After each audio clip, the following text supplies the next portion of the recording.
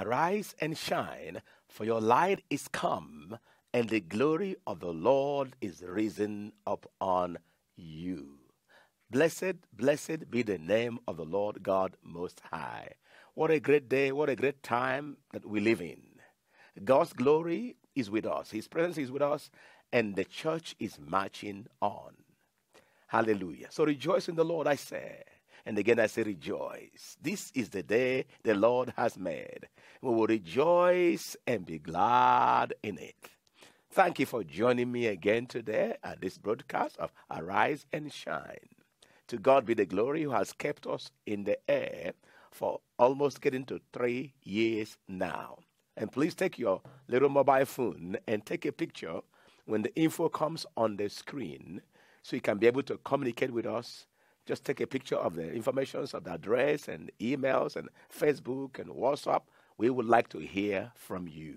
Give us a little testimony of how this broadcast has been blessing you. We really want to know the impact and, uh, and have an understanding of how much people are really being blessed through this broadcast. Hallelujah. It's our joy and pleasure by God's grace to come to your home and to share the word of God with you. And let God use us to be a blessing to you. Father, we rejoice in you and worship, and we thank and adore you. Father, bless the audience, Lord, that watch this message today. Anoint me, Lord, and use me. Glorify your wonderful name. And uh, there is somebody, you are actually a woman in your 40s, and you've been so much tempted that you are almost turning away from your faith. You are trying to abandon your faith in Christ because of pressure and temptation. I speak to you by the Holy Spirit. Please don't do it. Let the grace of God arrest you.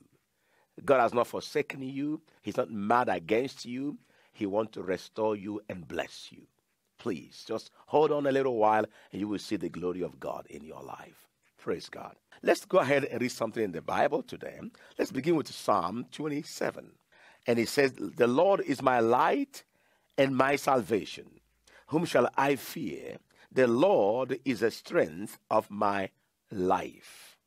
Of whom shall I be afraid? The Lord is my light and my salvation. Whom shall I fear? The Lord is the strength of my life speaking today on uh, what I call the lion and the rose. The Lord is our strength, He is our ability, He is our power. We have no might of our own. You cannot live the Christian life or obey God's word or keep His commandments by your own strength and ability. The Lord is our strength. He is our ability, our power, our dunamis, our ability to carry out what is that right. So the Lord is our strength. Say with me, the Lord is my strength. Now say, Lord, you are my strength. Hallelujah. There also in um, verse chapter 46 of Psalms, and we can see the Bible repeating the sentence here. In verse 1, it says, God is our refuge and strength, a very present help in trouble. God is our refuge and strength. The word again strength, ability, might. He is our strength. He is the one that empowers us, gives us the strength, the energy, the force, the power that we need, the authority, the dominion. He is our strength. And He is our ever present help in the time of need. That means the Lord will supply you the strength you need in the very moment you need it. Say with me, the Lord will supply me the strength I need in the very moment I need it. This is your moment of strength. This is your hour of power. God wants to empower you. God wants to enable you. God wants to infuse into you and I in this end time his own ability. We are surrounded on every corner, on every side with everything negative and discouraging and tiring. And um, it, it, the, the, the, the world around us is negative. The force, the power, the energy in the world is negative. It is contrary to the power and the strength of God.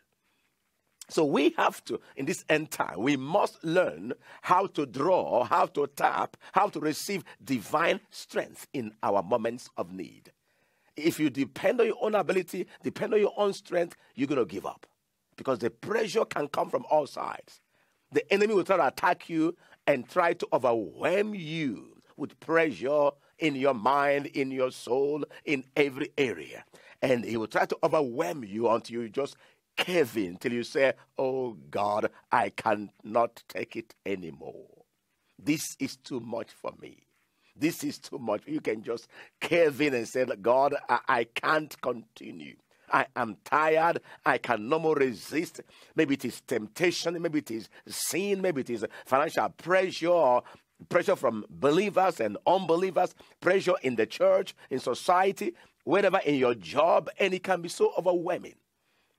And it can sap you of all your energy and, and just you become totally, completely tired until you faint and you just want to give up. The Lord is our strength. The Lord is my strength. We must learn in these last days how to really connect to the strength, to the ability, to the divine dunamis. The forces around us are negative. You cannot depend on anything in this world to make you strong, to make you uh, give you the strength you need. Everything around you is negative. The powers around you is negative. And you have to understand that much of the things around you and people around you, all of them are trying to draw strength from you. Your husband, maybe your wife, children. Your look at if you're a teacher in the class, in the school, it's like children are buzzing like bees. There's pressure, there's noise. You know, those text messages, those midnight phone calls, people telling you all their own trouble and all their problems. If you don't really have that divine strength and ability, you're gonna break. They're gonna people gonna break you down. I mean, church issues and gossips and worries and anxieties and complainings and bickerings. It can it can tear you down. So we must run to the Lord to receive strength and ability to be able to meet in our hour of need. Hallelujah. The Lord is my strength. The Lord is our strength and our ability. And then we can continue there in Psalm 18 and uh, uh, uh, uh in verse 1, David here speaking, I will love thee, O Lord, my strength, my ability, the one that empowers me, strengthens me, quickens me. Wow, the Lord is my strength. I will love thee, O Lord, my strength. Hallelujah. The Lord is your strength. The Lord is your strength. He is the one that gives you strength to be able to accomplish His will and purpose on earth in and through your life. You cannot cave in now, you cannot give up now. The ability of the Lord his strength is there. God is there to serve you His energy and strength and force. Even right now, as I'm speaking His word to you, this is the word of His power. It is the word of His strength. He is releasing energy and strength. He's quickening your heart, your mind, your body, your soul. He's cleaning the atmosphere around you where there you are now, right there in your room right there, wherever you are, maybe even in your own car, you're watching on your phone. The Lord is releasing strength right now to break that counter energy that ne- negative forces that are putting pressure on you from every angle. Sicknesses, diseases, cold, cough, all kinds of things. Pressure, sapping your energy, sapping your strength, weakening your mind. That paralyzing force, I command it broken over your life in Jesus' name. The Lord is your strength. You're going to go on. You're going to go forward. You will not abandon what God has beginning in your life. You've gone too far to give up now. The Lord is my strength. Hallelujah. Praise be to God. And this is very important. Psalm 28, and he continues in this way. Psalm 28, we can go ahead and read for verse um, the verse 8 says, The Lord is their strength, and he is the saving strength of his anointed. The Lord is our strength. He is the one who saves us by his mighty power. Can you imagine the energy, the force, the power that uh, is that is the, that the universe uses every day to keep going around? The entire energy and strength and force that upholds the galaxies, the stars, the, this very earth, the energy, the force talk about electrical energy or you know nuclear energy and all the, the energy of the sun, of the moon, of the stars, of the galaxies, of the asteroids. Do you can you imagine how much power is needed every day, 24-7, to keep the universe going? and your heavenly Father holds all this up by the power of His Word. He holds the universe, He sustains it, He keeps it going. None of them is missing. If God can uphold the universe by his mighty power, if he can sustain the universe every day, 24 7, maybe for billions of years, his strength will uphold you. He will sustain you. He will quicken you. He will heal you. When Christ was here on earth, he, being the anointed Messiah, the Bible said how God anointed Jesus of Nazareth with the Holy Ghost and with power. Hallelujah to Jesus. With what? The Holy Ghost and with power, who went about doing good. Our King is endued. The power of the highest dwell in him bodily. The strength of the Almighty. The force that maintains and propels and, and creates all things is embodied in our Christ. And that Christ is in you. He didn't come inside of you in a weaker form. he is in you now. The power of the highest is in you now. You have to learn how to activate the power of God in your life. All the Lord was doing here on earth was imparting strength. He gives strength to the weak. The woman there that was bowed down for 18 years, Satan has bound her, locked her up in weakness for 18 years. The Lord comes in there and says, Woman, thou art loose. By the power of his word, he released power to that woman's body. The woman of the issue of blood, 12 years of hemorrhaging, weakened, paralyzed, unable to move, can't move, weakening every moment of every day.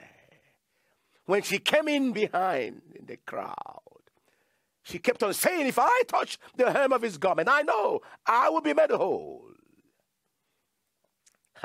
and the Bible said, when she touched virtue, strength, ability into her body, receive strength from the living God.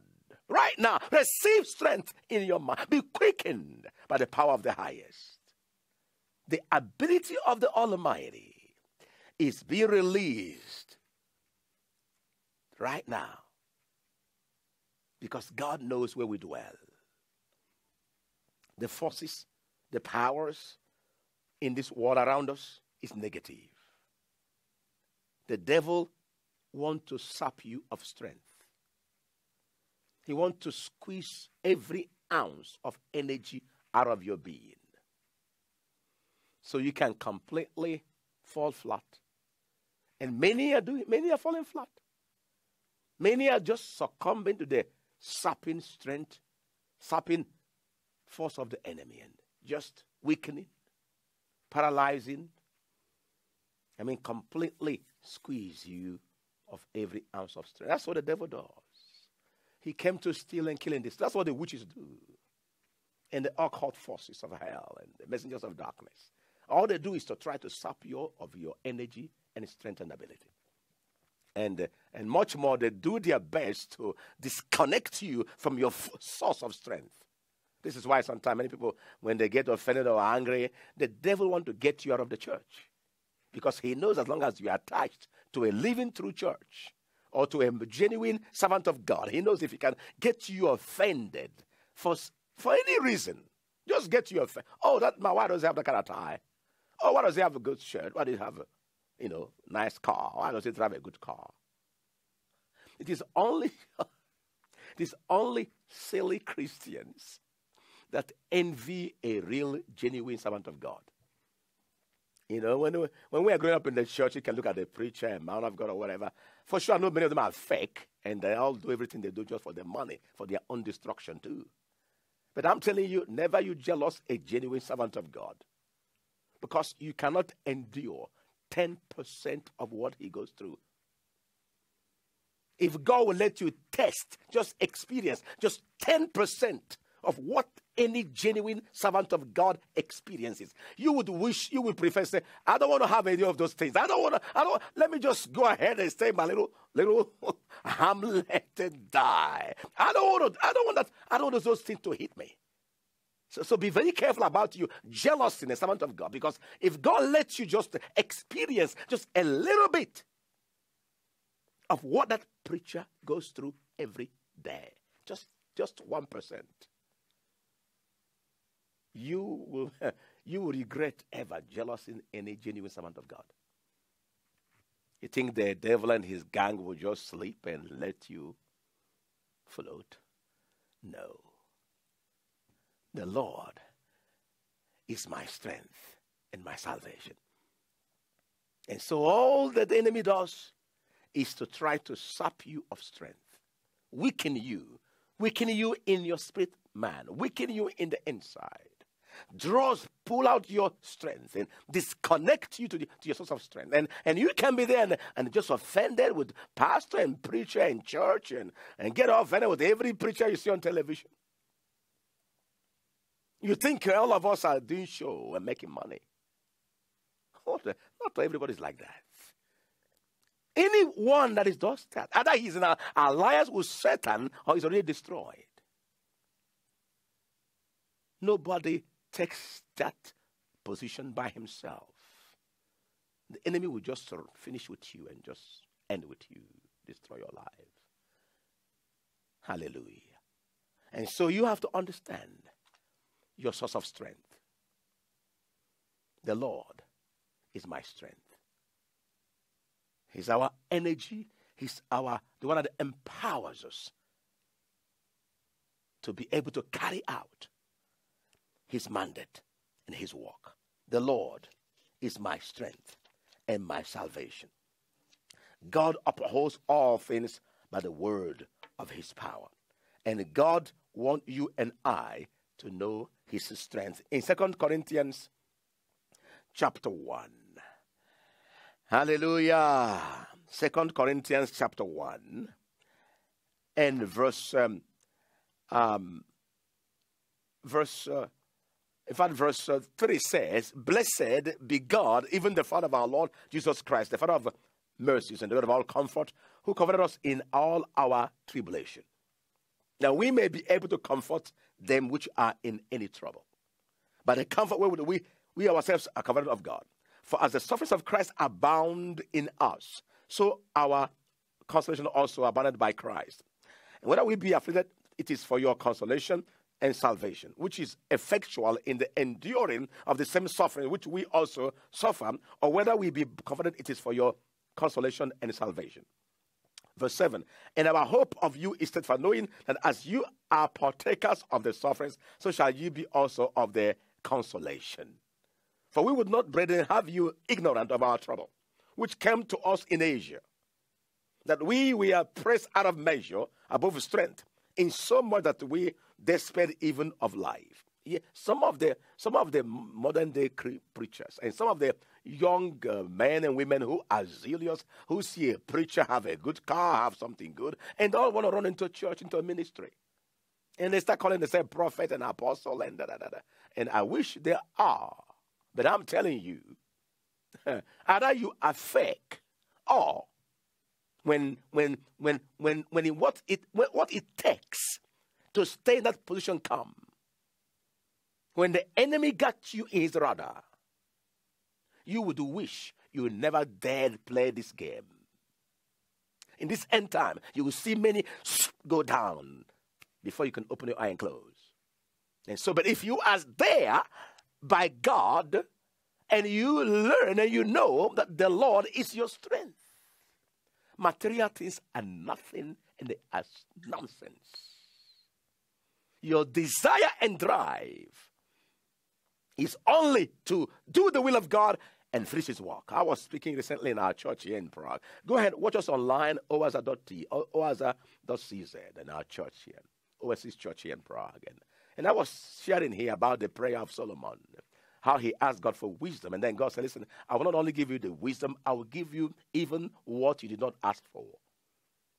I will give you wealth. I'll give you riches. I'll give everything. I'll, I'll bless you. I'll bless you. I was telling here in our church, listen, much of what I have today, I mean, simple things, I never asked God of them. I never asked God to give me money. Never asked Him to give me a house. Never. In fact, the first time God told me about the house, I thought it was a devil. I began to buy it. Solomon asked for wisdom. When you ask for the heart of God to do his will, to be pure, to be righteous, to be holy, to be an instrument in his hand, to fulfill his pleasure, God will give to you what you didn't even ask for. I remember telling God, say, God, don't give me a wife, don't give me a wife. Just use me because I don't know how I can get money to take care of a family. Don't give me a wife. September 7th, 4 a.m. in the morning, 1993, when I was fasting and praying there in Durbridge, Christ appeared to me and showed me my wife.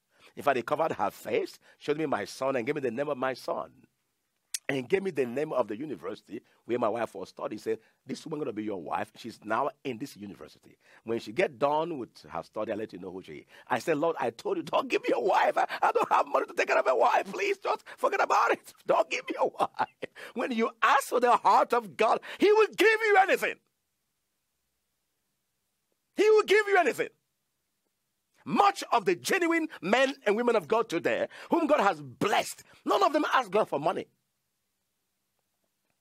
or property or cars or houses. No, no, no, no, no, no. Like Solomon, they asked for wisdom. They said, God, I want to know you. Did, you, did Paul begin to ask for money and wealth to reach his Paul, Apostle Paul? Look what he went through. Look what he went through. And any genuine servant of God pursues the heart of God. The Lord Jesus said, Seek ye first the kingdom of God and his righteousness, and then all these other things will be added unto you. When you get the heart of God, you get everything. so here Paul was saying that the suffering, the pressure was unimaginable. Verse 8 says, For we could not, brethren, have you none of our trouble which came upon us in Asia, that we were pressed out of measure above strength. In so manner that we despaired even of life. Men of God go through this. but we had a sense of death in ourselves that we should not trust in ourselves, but in God, which raised the dead. You come to a place in your life where you go through some siftings and trials, where you despair of life. But we had a sense of, okay, Okay, then in verse 9 it says, But we had the sense of death in ourselves, that we should not trust in ourselves, but in God, which raised the dead. God is our strength. He is our ability. He is our deliverer. He is our immediate help in the time of need. Who delivered us from so great a death, and doth deliver, in whom we trust that he will yet deliver us.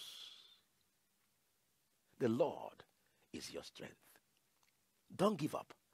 God's help is coming your way. His strength will rise up from within you. There'll be a surge of divine energy and power. Just like it said in, in, in uh, uh, Hebrews chapter 11, that Sarah also received strength. Hebrews 11 and verse 11. Through faith also, Sarah has received strength to conceive seed and was delivered of a child when she was past age because she judged him faithful who had promised. If God called you, if you're a child of God, you are a new creation. Christ is in you, God is your Father, you must judge God faithful. Trust Him with your life. Trust Him with that situation. Trust Him for strength. Trust Him for ability, for power. The Lord is your strength. Sarah judged God, counted God faithful. Through faith, an old, weak, sick, dying woman received strength from God. Today I say to you, by faith, draw from God the strength you need. An old woman, sick and dying, if she receives strength from Jehovah. The Lord is your strength. The Lord is your strength. The Lord is your ability.